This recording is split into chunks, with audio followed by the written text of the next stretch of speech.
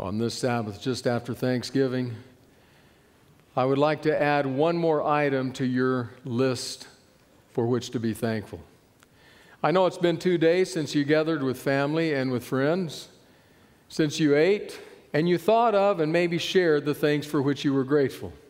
Jesus, right at the top of the list, family, right after that, food, holidays, you're thankful for that now. A couple weeks from now, you'll be thankful when they're gone. Maybe many items for which you were thankful. I would like to add just one to that list.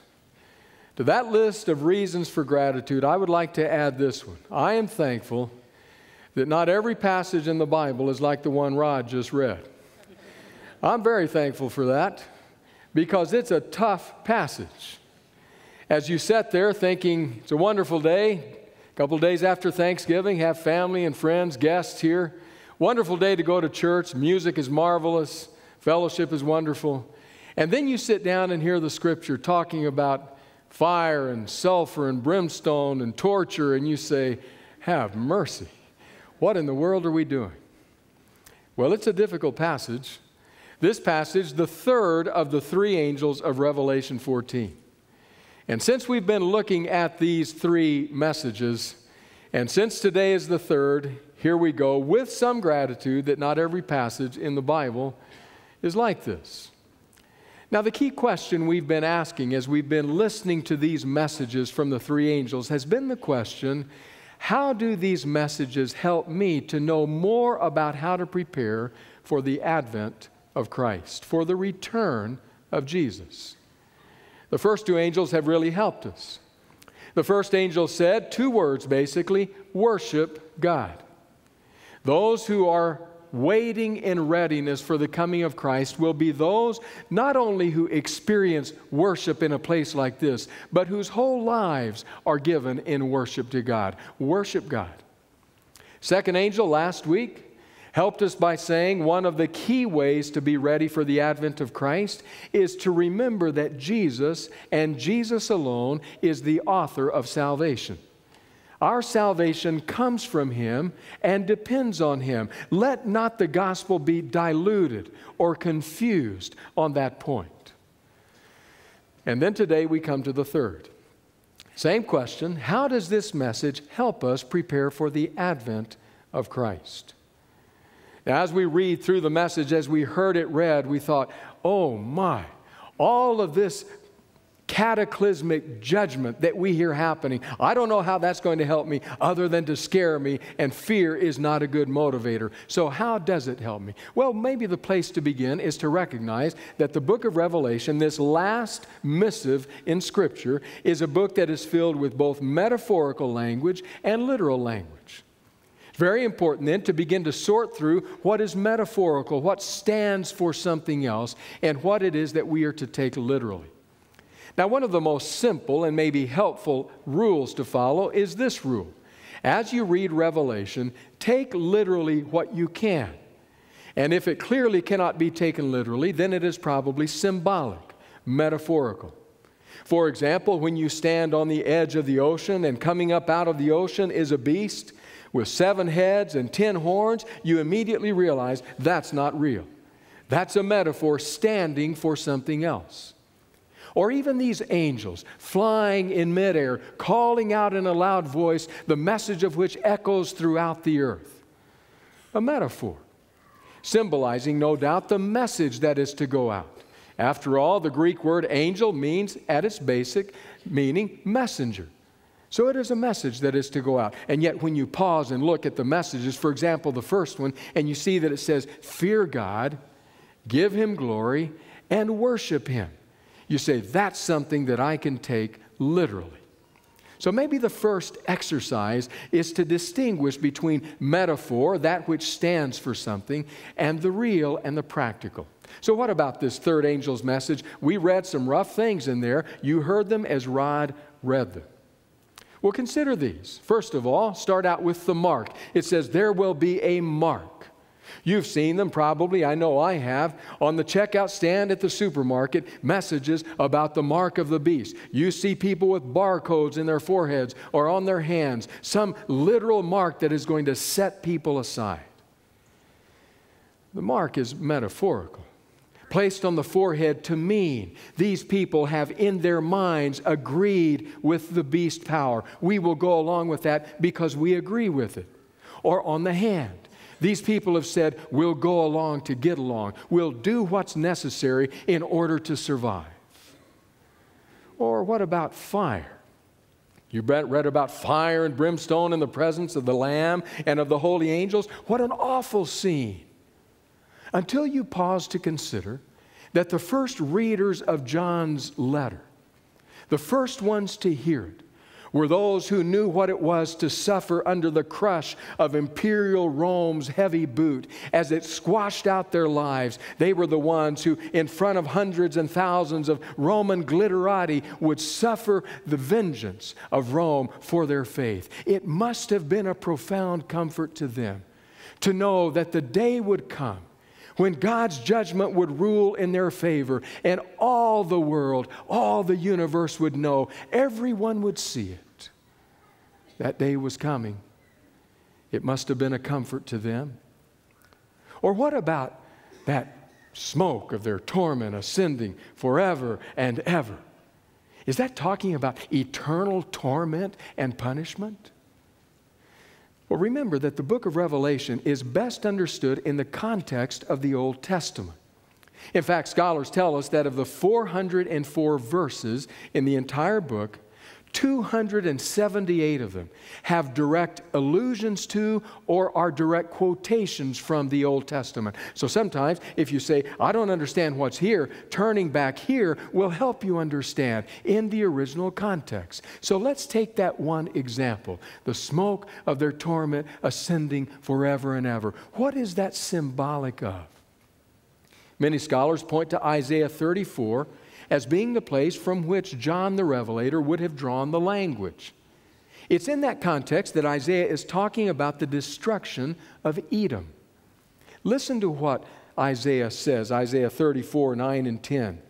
Edom's streams will be turned into pitch, her dust into burning sulfur, her land will become blazing pitch.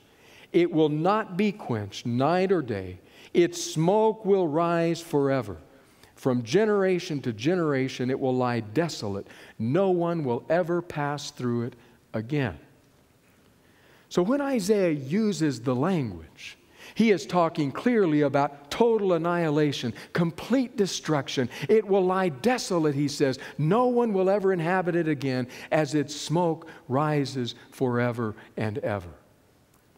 So the third angel is painting a scene a scene where complete destruction will come. And then finally, what about that wine?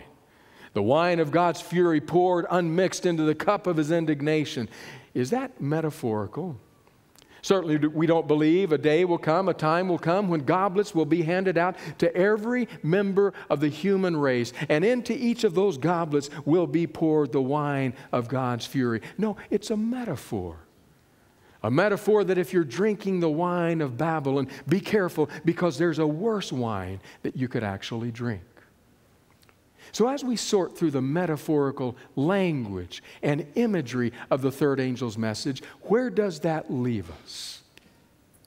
Well, that part of it leaves us with this there is coming a day when God will finally move to end in judgment.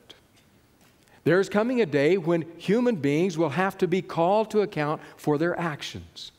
And we are on the way to that day making decisions of eternal consequence, especially decisions related to worship.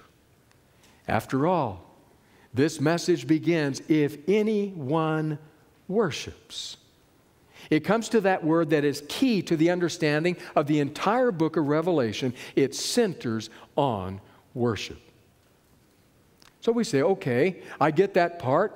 There's, we're making decisions. There's coming a day, eternal consequences. I have to make decisions about who it is that I will worship in the context of Revelation. But can we be more specific about this third angel? Well, we can. But let me remind you that as you read Revelation, one of the most important choices you can make is to keep the entire sweep in view. Look at the entire sweep of what it says. Things like this it's going to get a whole lot worse before it gets a whole lot better. The distinction between those who follow the Lamb and those who follow the beast will become increasingly distinct. And in the end, the Lamb wins. Keep those broad brushstrokes in mind. Because the truth is, throughout 2,000 years of Christian history, People have gotten so attached to details, details that have usually been wrong, that they've missed out on the bigger picture.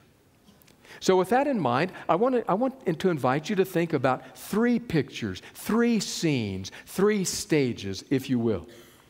The first stage is a universal stage. Picture or look at the universe. The universe is there. This is the backstory, the backdrop for the entire story of the Bible and certainly for the story of Revelation. If you have that image in your mind of the universe, then picture the word superimposed Christ versus Satan. This is what Adventists have often called the great controversy. This is the backstory that began before us, of which we were not a part in the beginning but it's that struggle between light and darkness, between good and evil, between Christ and Satan. That looms in the background of the book of Revelation. But the book tells us that it didn't just stay in the background. Listen to these words Revelation chapter 12, beginning with verse 7, says this And there was war in heaven. Michael and his angels fought against the dragon, and the dragon and his angels fought back. But he was not strong enough, and they lost their place in heaven. The great dragon was hurled down, that ancient serpent called the devil or Satan, who leads the whole world astray. He was hurled to the earth, and his angels with him. So now we move from a universal picture to a global picture. It has just moved closer to us. From that Christ versus Satan view of the universe, we now move to a view of the globe that says the dragon versus the lamb. Now we get more specifically into Revelation itself. We come closer to what is behind this third angel's message. In other words, those two forces sought agents here on earth, those agents who would carry out their will, further their purposes. Now we come closer to where we live. But that's a reality over which we have no control. It will come even closer to us because the Lamb seeks those who will carry out its will. That's the church, in Revelation, often spoken of as the woman. So too will the dragon. Among other unsavory characters, one of the key characters the dragon chooses to work through is the beast. And so finally, we end up on a very intimate, specific stage the beast versus you and me. This is at its most individual. The huge picture, universal behind us, the global picture, and now the intimate picture where you and I live our lives. Now, the truth is, we have spent much time on that second stage much time figuring out who is this beast that the dragon chooses to use. And it's understandable. It's understandable that we would want to know who it is, though different answers have been given. In the very earliest days, when John the Revelator wrote his vision out, the people who read and who heard that vision undoubtedly thought of the beast as imperial Rome, that power that was trying to annihilate them. It was imperial Rome. There is the beast. They spoke of it in code language so as not to suffer even further danger. But then the world did not end. Time forged ahead. And it wasn't long before riding in that vehicle called now, people moved forward enough that imperial Rome dropped off the map.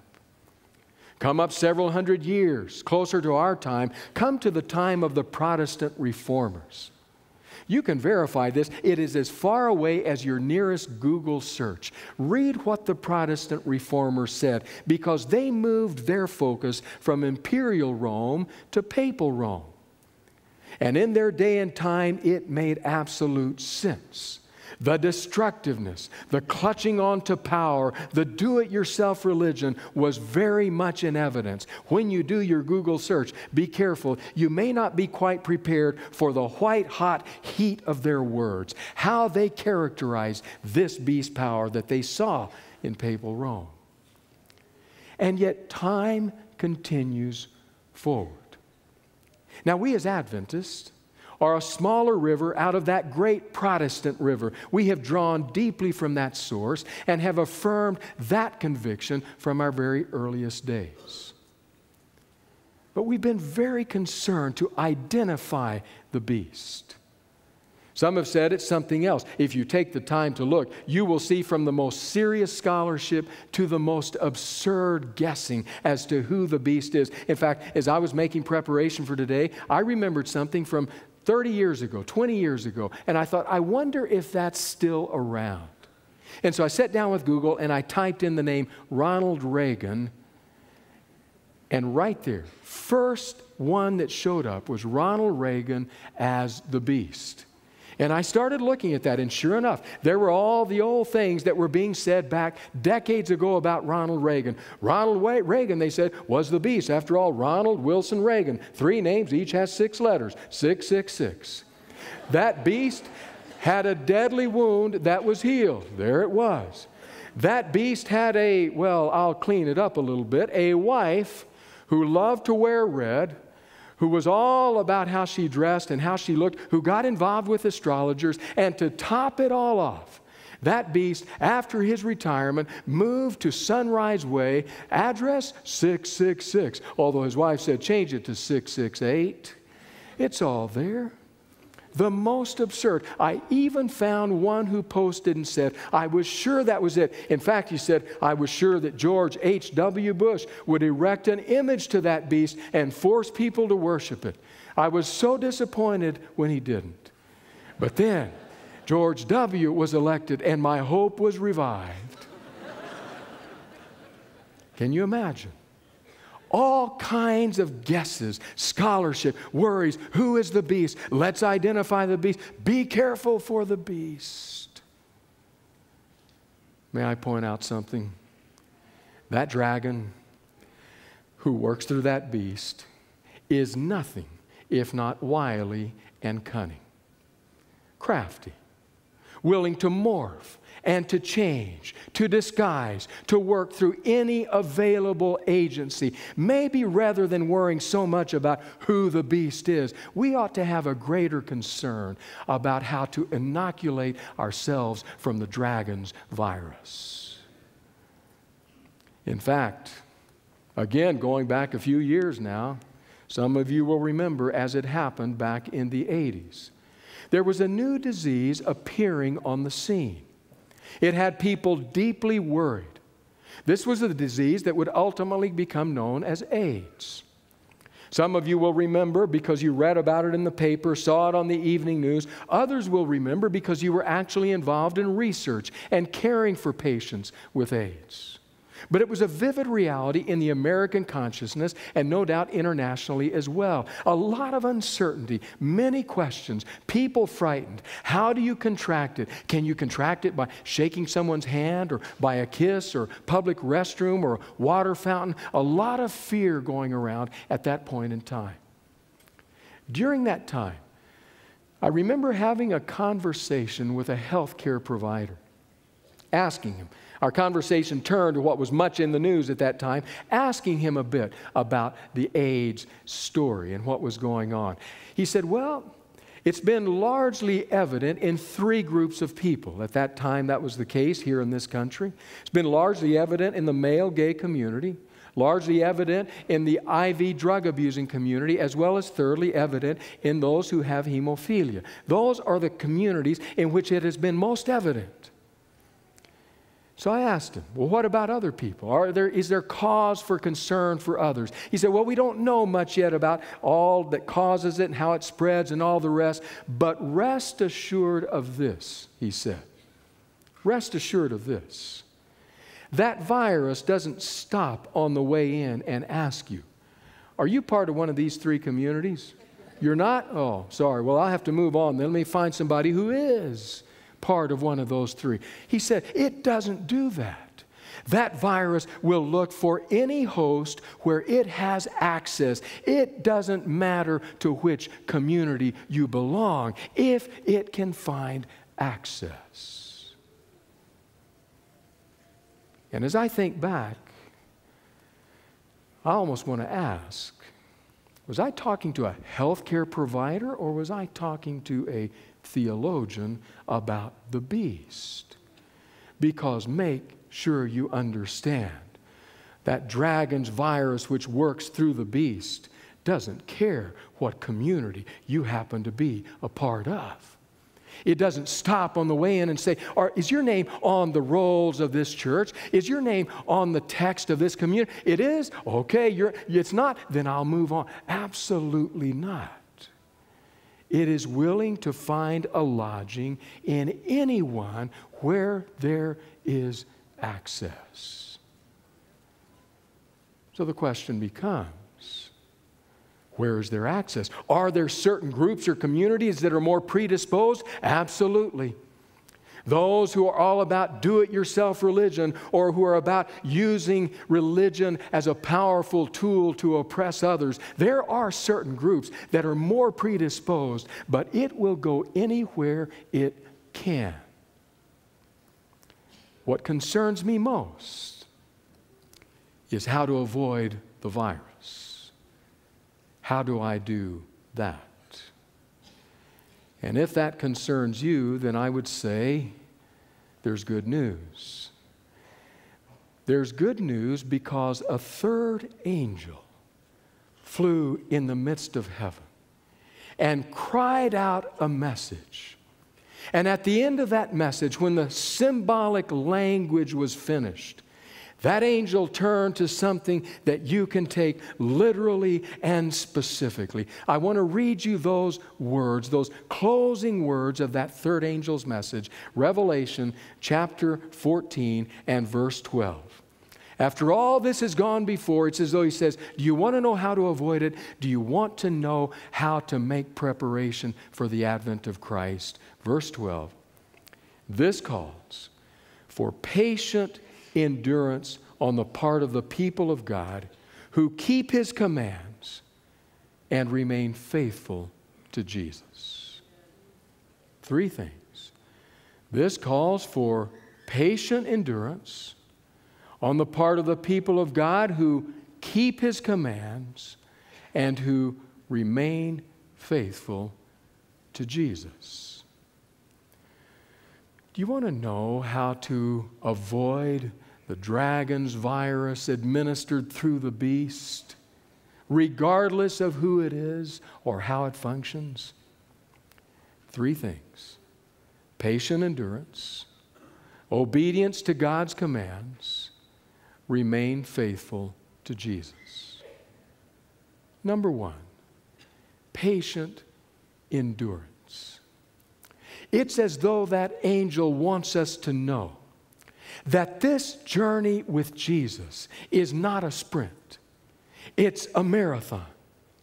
Don't think that it's going to take just some desire and that will get you there. No, he says, it is patient endurance that will be required. It is almost as though John the Revelator is drawing on the imagery of the writer to the letter to the Hebrews when that writer said, Let us run with patience the race that is set before us, looking unto Jesus, the author and finisher of our faith. It will require patient endurance. In fact, I have a question for you. We're almost to December. About 11 months of this year have slipped into the rearview mirror. My question is Is your walk, is your journey with Jesus deeper today than it was at the beginning of 2012? As you have lived the 11 months of this year, have you opened your heart and your life more fully to Jesus and said more clearly to Him, Oh, Jesus, be at home in my heart, in my life. Become increasingly comfortable here. Make this your abode. You're welcome to every facet of it. Open the closets, the drawers. Help me clean out that which needs to be cleaned. Just make yourself at home here for the long haul. This is not your hotel, Jesus. This is your abode. Have you deepened in that way with Him? As you look over the last 11 months of this year, is your spiritual life less of an up and down, jagged reality? And has it begun to even out some as you move toward deeper maturity in Christ? As you consider where your journey is with Jesus, can you honestly say it has greater flavors of patient endurance than it ever has before? We're not in a sprint. We are in a long haul race. I cannot tell you if Jesus will come a day, a week, a month, a year, or 100 years from now, but it ought not matter because we're in it for the long haul, regardless of when He returns. That's what's called patient endurance. I love the words of the venerable old Scottish scholar William Barclay who reminds us of commitment and patient endurance with these words It is possible, he writes, to be a follower of Jesus without being a disciple, to be, as it were, a campout follower without being a soldier of the king, to be a hanger on in some great work without pulling one's weight. Once someone was talking to a great scholar, he writes, about a younger man. He said, so and so tells me that he was one of your students. The teacher answered devastatingly. He may have attended my lectures, but he was not one of my students. There's a world of difference, says Barclay, between attending lectures and being a student. It is one of the supreme handicaps of the church that in the church there are so many distant followers of Jesus and so few real disciples. Real disciples are in it for the long haul. Their lives are characterized by patient endurance. I look at my parents, Bob and Betty Roberts, married 66 years. Their early marriage characterized by a decision that said, we will go straight to the mission field, we will bypass seminary because we believe the coming of Christ is that close. Decades, decades later, here we are. And yet, there they are, hearts still faithful, in it for the long haul. The angel said, patient endurance. We sometimes flag our weary souls by saying, It's almost here, it's just around the corner. I have to tell you honestly, I draw back from such language and such imagery because I don't know. And because at an even deeper level, it ought not matter.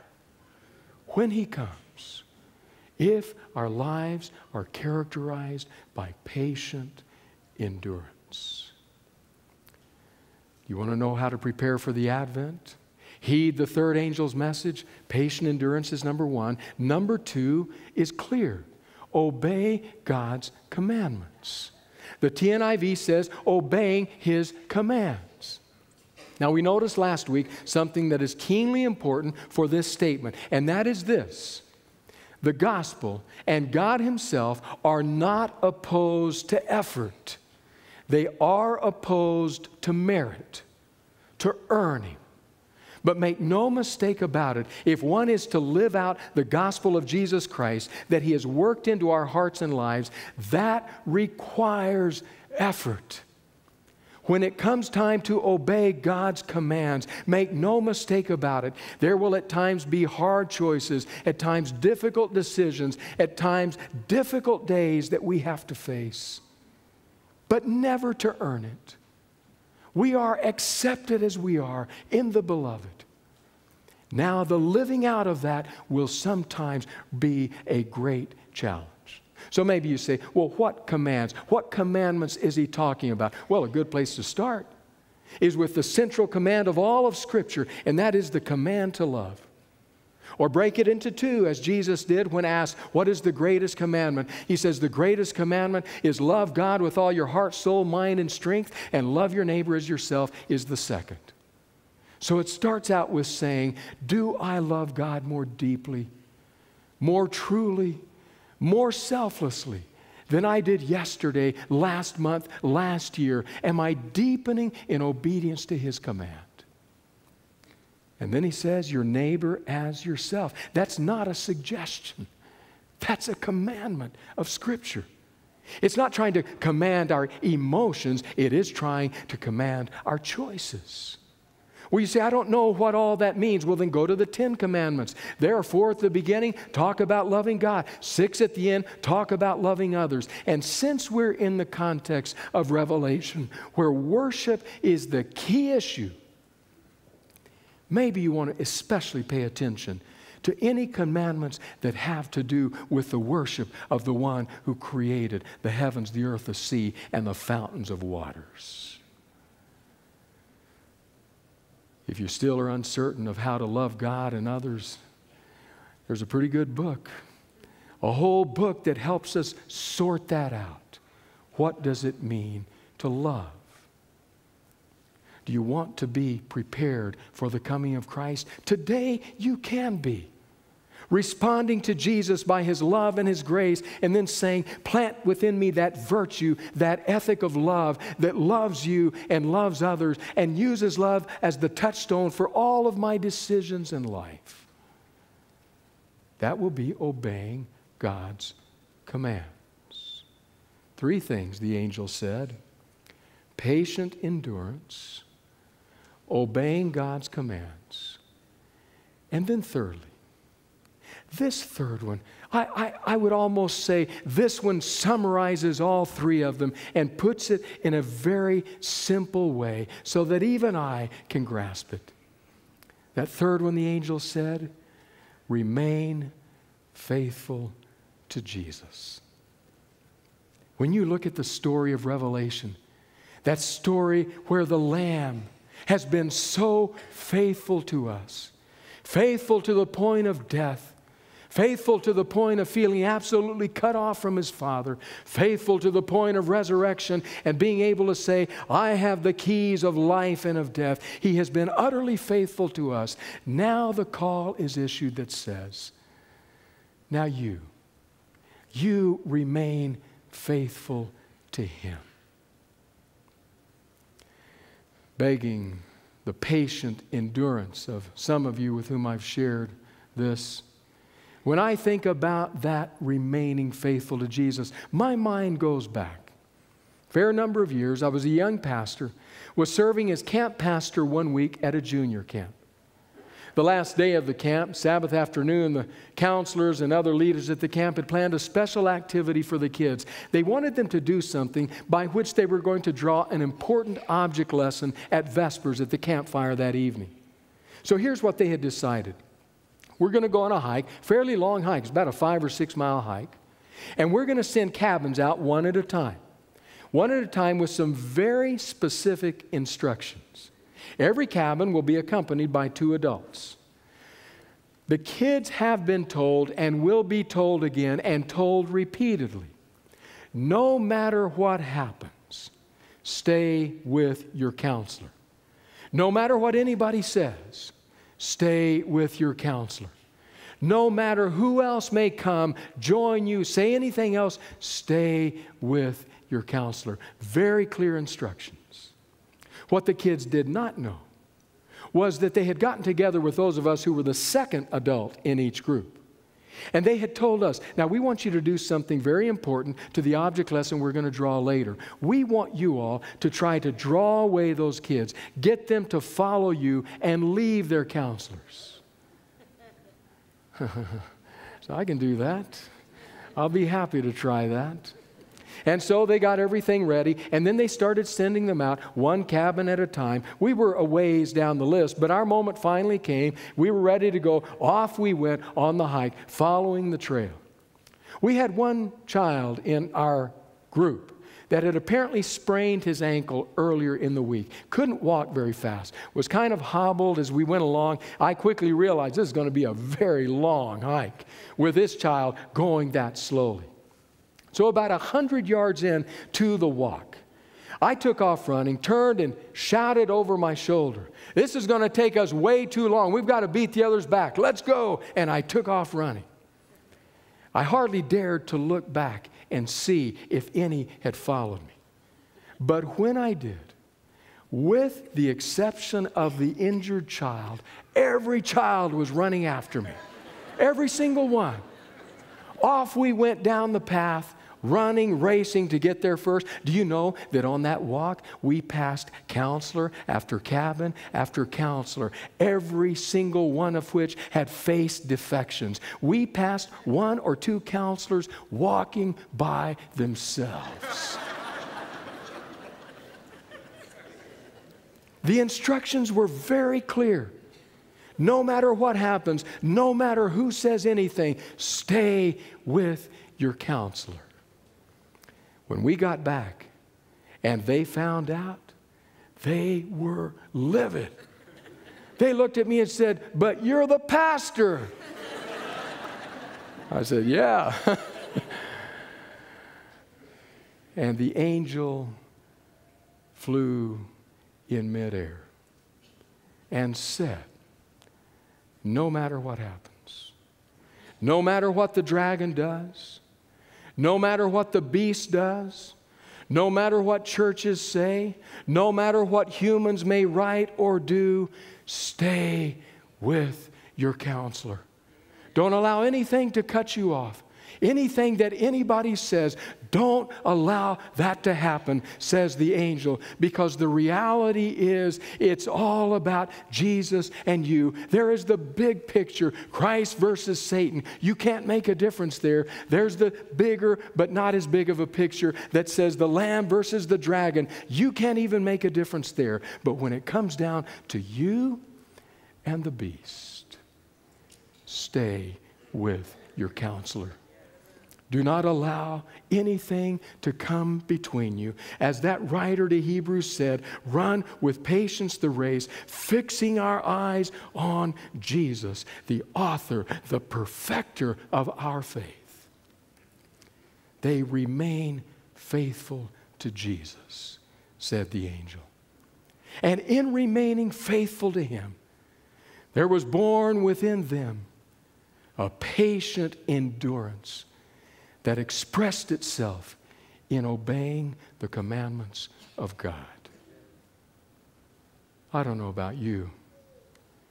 I would love to see him face to face just as soon as is possible. But I can tell you this it is the settled purpose of my life. No matter when that occurs to stay with my counselor. Because the reality is, for those who are in the grip of His grace, for those who, with all their spiritual strength, cling tightly to His hand, the day will come when face to face, He will look at them and say, Welcome home, children. Welcome home inherit the kingdom prepared for you from the very foundation of the world.